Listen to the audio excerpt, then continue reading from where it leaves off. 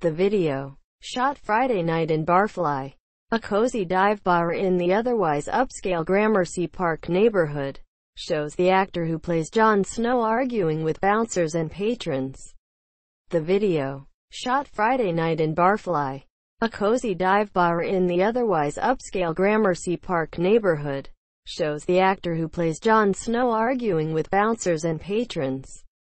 His leading man charm didn't appear to impress one young lady, who tartly tells him say excuse me as he tries to jostle past her. According to one eyewitness, Harington was booted out of the bar and left, but then came back in and had to be physically dragged out into the cold by bouncers. Representatives for Harington did not immediately respond to a message-seeking comment.